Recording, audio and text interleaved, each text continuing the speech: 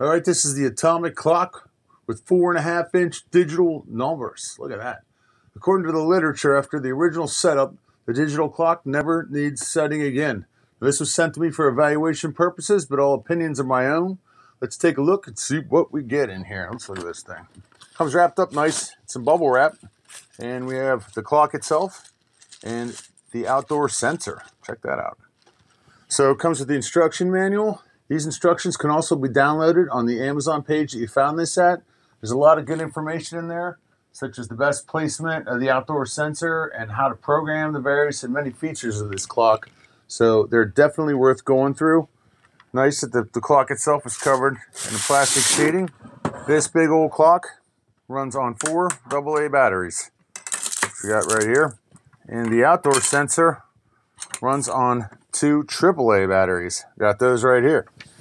According to the owner's manual, when you put the batteries in the clock, you have three minutes to put the batteries in the outdoor sensor. Once the batteries are in, the devices will sync up to each other. It also says that you should keep them close together for about 15 minutes for the strongest signal, and it recommends that they stay about 5 to 10 feet away from each other. Why do they call this the atomic clock? Because after you set it up for the first time, the clock adjusts the time and the calendar to the atomic signal automatically right down to the seconds.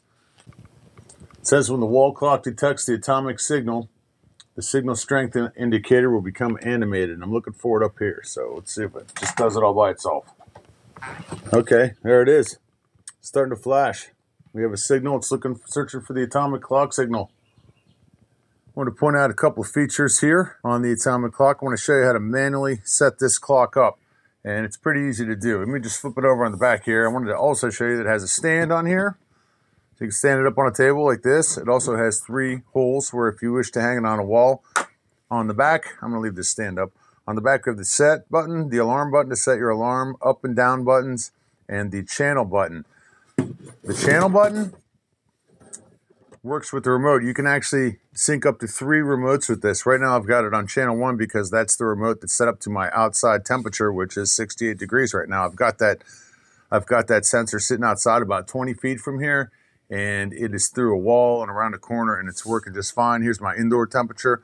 But if I had two more of these, the outdoor sensors, I could change it to channel two and channel three.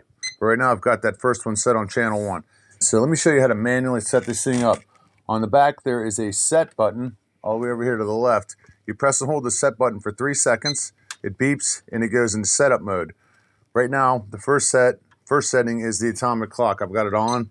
You can switch that off if you want. Let me just switch that off. You hit the set button and it goes to the next setting, which is the year. So, and you can use the arrow buttons up and down to change the year. Of course, it's well, 2022, so that's where we're at.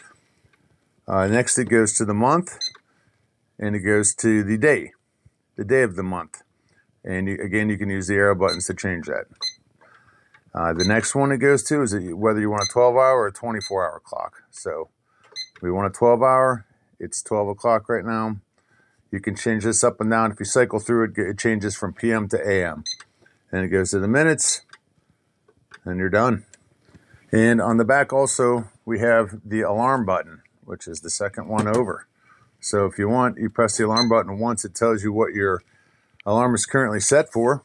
And if you press and hold the alarm button, it allows you to change it. So we set it for 6 a.m., press the alarm button again and again, and there it is, the alarm is set. And we have a nice large digital display clock that we can either set on a table, we can hang it on the wall. We've got a temperature gauge we can put outside to tell us what the outside temperature is. We know what the indoor temperature is. We know what the date is. We know what day of the week it is, the month, and the day. Pretty cool. Pretty cool for anybody, I would think, that wants to have a large display digital clock. The Atomic Clock. Check it out.